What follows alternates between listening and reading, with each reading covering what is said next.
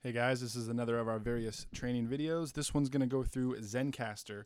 So we've been recommending Zencastr to a lot of people that have previously been using the Skype and Ecamm method to record interviews.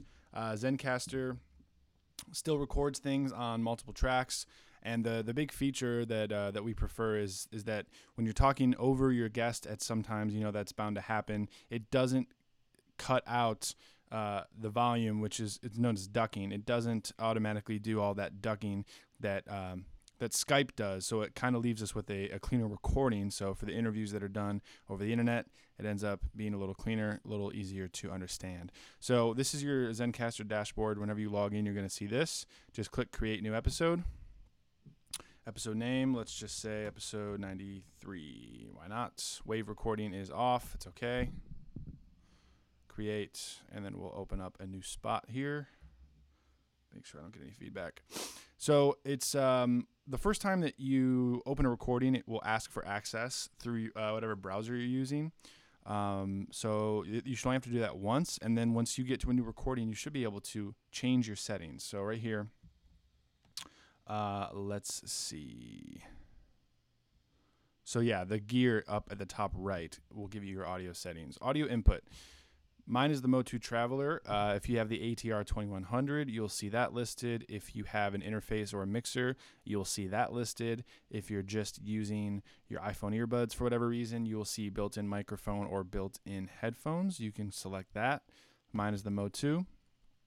Output, again, you're going to see all those options.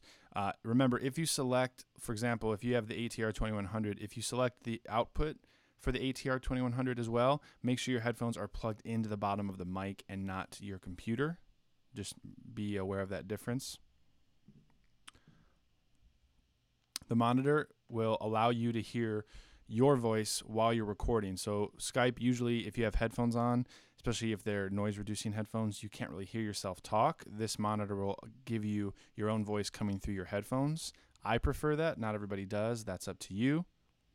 And the other things you can leave just fine. Save settings, and you should see under your name, you can see I'm getting signal here. If I tap on the mic or if I get closer to the mic, you can see it's getting louder.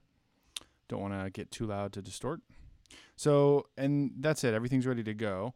The next thing to do is just invite whoever your guest is. Click invite, send them a link, and make sure that they open it in Chrome or Firefox. Uh, Zencastr does not work in Safari currently. Once they're in, you'll see their name pop up here. Uh, there's a chat window. Feel free to use that. And once uh, all your guests are in, you go ahead and just click start recording and you're good to go. Now you'll notice that right now I don't have a guest here. It's just me. This means that you can also, if you uh, if you don't want to use GarageBand or QuickTime or Audacity, you can open Zencastr and record solo episodes by yourself. You can see it's rolling right now. So if this is an easier platform for you to use and you kind of prefer it, feel free to do solo episodes in Zencastr as well. Once we stop recording, a so it'll, it'll remind you not to close the browser yet because it's going to upload things. Okay, I'll wait. You can see the progress down at the bottom. You should have specified a Dropbox folder to save things to once you set up your account. So it's going to save it there. All your tracks have been uploaded. Now we're safe to close and you're good to go. Once it's in Dropbox, if we don't already have access to that folder, you can just share it to us. And that is all for Zencastr, and you should be good to go.